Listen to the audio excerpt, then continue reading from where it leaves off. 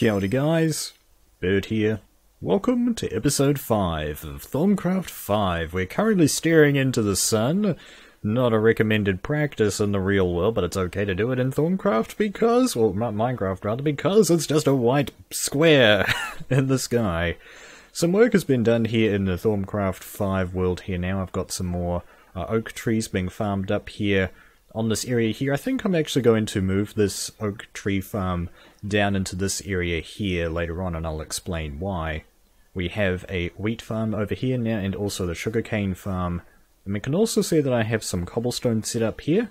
This is the first uh, inklings of our sort of little hobbit hole uh, type situation going on here. I'm not 100% happy with it at the moment. I think I might uh, rework this shape a little bit, but just a good idea to get that stuff uh, down and, you know, working on it just in the background. I think that's the way that I'm going to work on building in this playthrough, like I did with the TC4 world. I'm just going to kind of do most of that off camera, and most of the stuff to do with magic, all of the stuff to do with magic, hopefully, will be done on camera or as much as possible.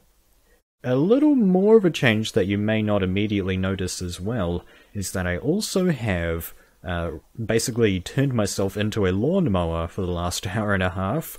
I've been going through and getting rid of all of the tall grass in the surrounding area just to try and increase the frame rate in some areas. I haven't done a whole lot. There's like a whole area over here still I haven't done. I haven't done up there. I have done up by the house. I think a little bit over there, a little bit in there, and kind of up behind there as well. a lot of work, and that did at least give me an excuse to uh, get enough seeds to actually get this wheat farm up and running, which is actually almost ready to harvest. Uh, just a little bit of a pro tip for those who are newer to the game. If you have a 9x9 area of wheat like this, generally speaking, that is going to be enough wheat to, uh, to you know, keep yourself fed. it's not going to be a great food source, it is bread, but you know, it's a it's enough to get by, I suppose. The next step after this, obviously, will be to get a cow farm set up. I'm not too sure where I'm going to put that, but uh, yeah, we need to get some cows over here. There's only a few left, and I have I've had a look around as well as some uh, over in the savannah area that's over there. It looks like the night approacheth. So it's time to go ahead and enter inside this place. I've also done a little bit of exploring and found some sheep. I unfortunately didn't take any shears, so I had to kill those sheep to get ourselves a bed. Let's go ahead and get F1 pressed at long last there. Sleep the night away.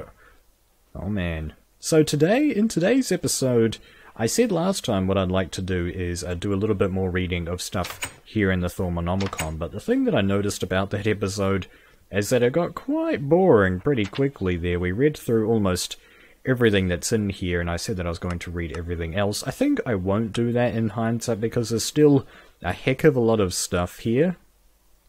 Uh, maybe some of the more interesting stuff that we need to get to later, basic artificing, or like the Thaumometer, for example, is I think something that I want to get started with today's episode with. We might read that at some point. Uh, let's see, yeah, there's one other thing in here that I forgot to read about, which is the new enchantments. We'll just quickly take a look at that. Now, if you want to read this yourselves, guys, you can go ahead and pause the video, but there's basically two new enchantments. Haste, you can put that on your feet, footwear, which makes you run faster, and Repair, which you can put on tools, and I think armor as well. Uh, which will make the durability repair, but you can only do it on magical stuff, so uh, Thaumium, as well as some tools that we'll get to later on. Oh man, it's I'm not sure if you heard that. The house kind of creaked there. it's pretty windy at the moment here in old New Zealand. The thing I want to get started with today is actually doing some of the research. So the first thing that we need to craft up is a table. And it looks like the recipe for this hasn't changed. It's two planks and three slabs on top. Oh, and you can make a stone table now as well with slabs and clean stone, and it appears to be the only thing. We'll go ahead and start with the wooden table because that's the material that I have the most of.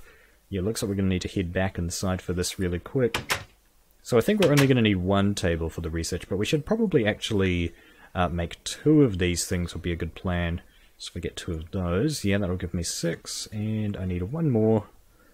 That'll give me enough materials to make two tables, like so. There we go. Right, so now the next step that we need to do, where am I going to even put these things? Uh, I guess just for now we can uh, keep them in here, put them next to the bed, bedside tables. uh, I want to get started with the arcane workbench, crafting with magic, and we can also get the research table, which is basically what those two turn into. So the arcane table, it takes our wand, and you just click on the table, fairly simple, so let's get the wand out. I haven't really been uh, keeping this equipped on me right now because uh, it basically doesn't have a purpose yet. There's nothing we can use it for until now, that is. There we go. Let's put that on the table, and it looks like just in TC4, the orientation of the wand on there appears to just going to be uh, static. Okay, you can take the wand back out like so, but then you can't use it to create any of your magical recipes. Now, this seems to be pretty much identical to what happened in Thaumcraft 4. Uh, and the next one that I want to make is the research table to gather knowledge. You just need to take some scribing tools and a wooden table. Okay. And the recipe for scribing tools is a glass bottle, a feather, and an ink sac. I should have those materials around here. I did do some harvesting of glass in the desert, so I've got some of that. Now I need three of those, actually. I'm gonna need some feathers and an ink sac. Those should be in this other chest here. Uh, spot them before bird. there we go. Uh, feathers right there, so that is all good to go head over to this crafting station. I should probably actually uh, put this arcane workbench over here now, just so that I get used to it. We don't need that guy anymore. This arcane workbench works exactly the same as the normal workbench in Minecraft, except it does a heck of a lot more. you can actually craft magical stuff with it. Alright, let's go ahead and put in a glass phial, or glass bottle. These are, yeah, the phials are the Thaumcraft version. So there it is, the scribing tools, which only has one tools inside it. Alright, Okay. We got the... Let's go ahead and right-click that. And there you go, that is the research table. It actually seems to have gotten a complete change. It looks like there's a little mini drawer here. Perhaps there's a internal storage. Ooh, nice genuine leather right there. And it looks like we don't actually uh, know any research whatsoever. Oh well, I'm going to go ahead and take my scribing tools back out. Or actually, I think I might do what I did with the uh, TC4, where I actually I got another scribing tool just so that I could keep that one in the workbench. So if I get another ink sac and another feather, I can, I've already used these glass bottles, got the glass bottles, so just go ahead and make another scribing tools just to keep on my person. And I should just need to get some paper as well. Uh, my sugar cane, I've got a decent amount of sugar cane now thanks to the farm. Uh, let's go ahead and just turn as much of this into paper as we can. We're going to use up all of that paper eventually and probably then some. Alright, so how you get started with research is you come into the Thaumonomicon like so. We explained this in the first episode. The one that I want to get started with is actually sort of one, the fairly basic one here, Nitor, Mystical Flame, and it looks like there's actually, uh, Nitor itself has gotten a facelift, so all we have to do is click this with a scribing tools and paper in your inventory, and it'll give you the research note, which is right here. Alright, so that's got a, yellow dot on it, so it's probably involving iron of some kind. Oh, okay, you can only see these once you actually uh, get some stuff in there. So welcome to the researching minigame. Wasn't explained too well last time, I don't think, or at least my explanation wasn't that great. So what we need to do is we need to link this to that. But in order to do so, we need to put some aspects inside here, and this is kind of our aspect pool right here. I think what I'm going to do for this one, let's see if I can, I think I'm going to try what I did uh, last time uh, in this sort of the end of the series. Let's get some Potentia That doesn't come up with the little things like in TC4. I think what I'm going to do is take this, put that there. Okay, I'd only... It, you know everything now, but... Okay, I see. Uh, let's see. Yeah, I think what I'm going to do next is put some order right there. Basically, um, what what I'm trying to say here is for those who are new to the series. Uh, I think that the researching system in this game is a little bit too easy. I've gotten fairly good at it, so what I like to do is basically, whenever I do a research, I only like to use one type of aspect of that, like one as one aspect of each type per research if I can, which basically means I've already used Potentian Autodo and Lux and Engis as well, I suppose, so I can't use those ones anymore to finish off this research. It, it's just an extra level of difficulty that, I, that I've imposed on myself, which I I personally find more enjoyable. Uh, you can go ahead if you want to and just kind of uh, cheese it a little bit if you want to go Ingis, Lux, Ingis, Lux. I mean, yeah, that works, but it's, you know, it's cheesing it a bit. I'm going to go ahead and get two of those, and I'm actually going to get a bit more Potentia, just so that's kind of in the pool there. We're actually almost running out of juice already. Let's go ahead and get some more Mortus back in there. And there you go, that is the discovery. We've linked the two aspects together, and that gives us the discovery for Nitor the mystical flame. Right click to learn the discovery, so you just take it into your inventory like so. Right click, and there you go, it comes up with like a little achievement unlocked sort of thing. Right, so let's go ahead and have a look at it, and there is a gold star next to it, you lucky people. Let's go ahead and read about it. This flame seems to be fueled by magic itself. The number of uses for an ever-burning flame seems endless, but unfortunately it seems to produce much more light than heat. Despite that, it could still prove to be a steady source of energy. Nitor can also be placed in the world to act as a magical light source. It will take on the colour of any dye you combine it with in a crafting table. Okay, so there you go, that is the crafting recipe for it there. You need to take some glowstone dust in a crucible, which we haven't explained yet, as well as some Ingis, Lux, and Potentia.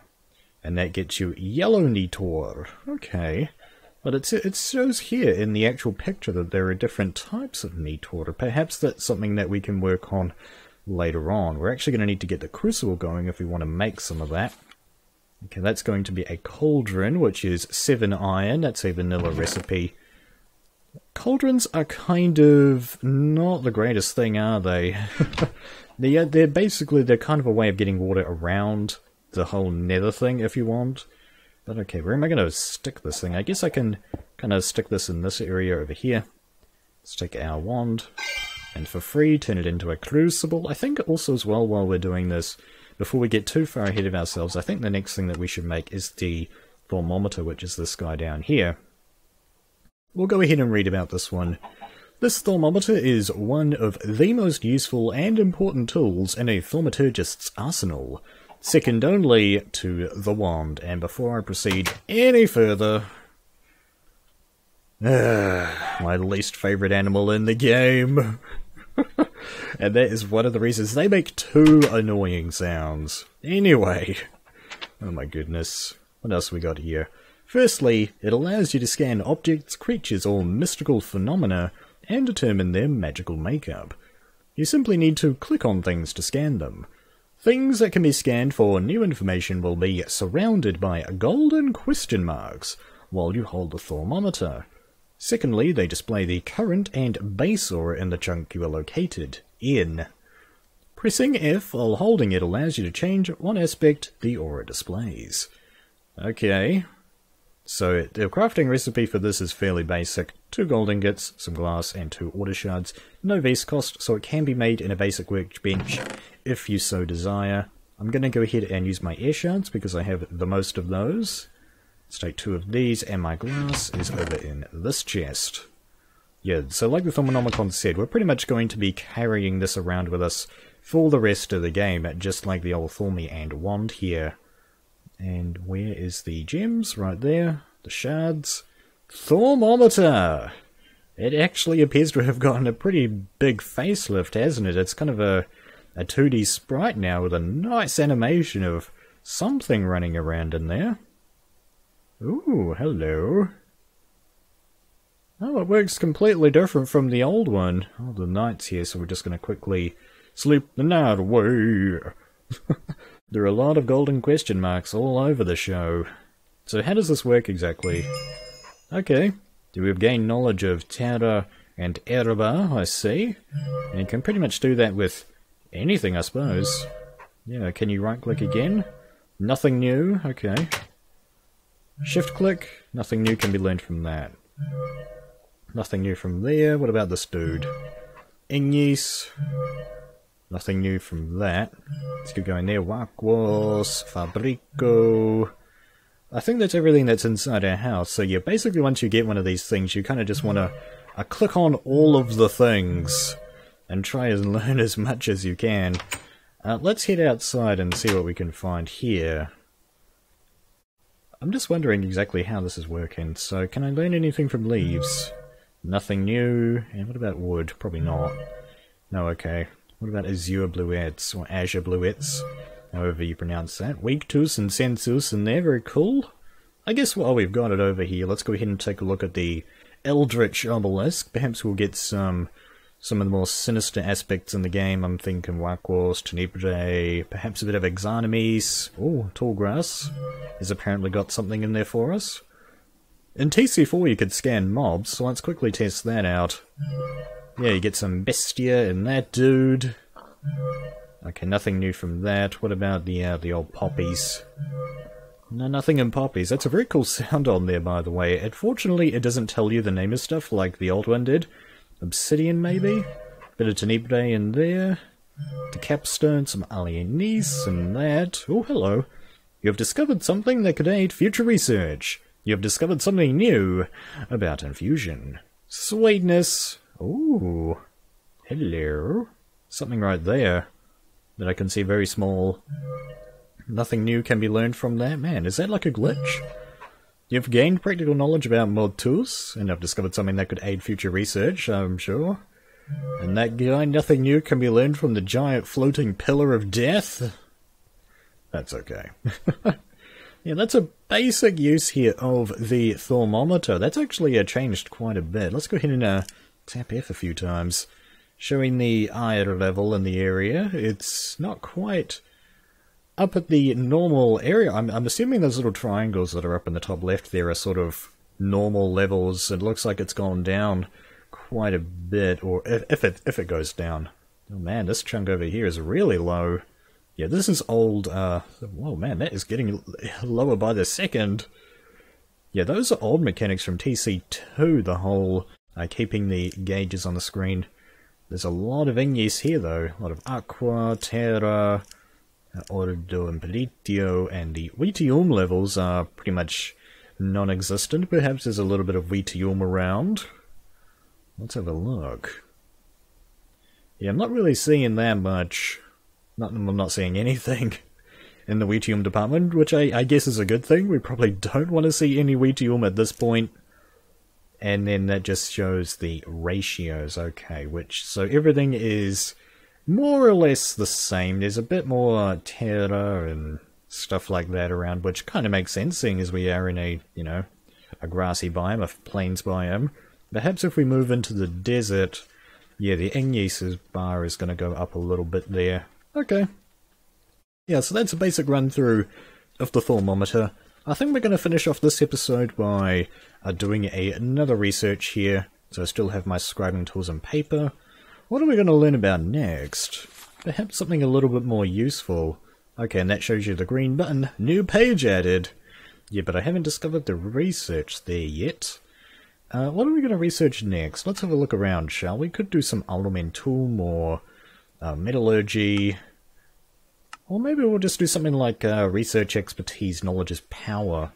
Uh, getting uh, more efficient research out of the way is probably something that we want to get fairly soon. Looks like we've got a pink a little sphere on there. Okay, and that gives that's probably to do with the cognitio, I would say, as well as sensus and ordo in this research here. So, oh, hold on. It got rid of what I already learned there. Hmm. Okay, I, I used to, I had Potentia and, uh, what was it, Lux, I believe, there, but it looks like they've dispersed. Okay. Well, let's get started with this guy. I think what I'm going to do is I get some Permutatio going. Well, that guy connects to Aer, doesn't it? As I recall.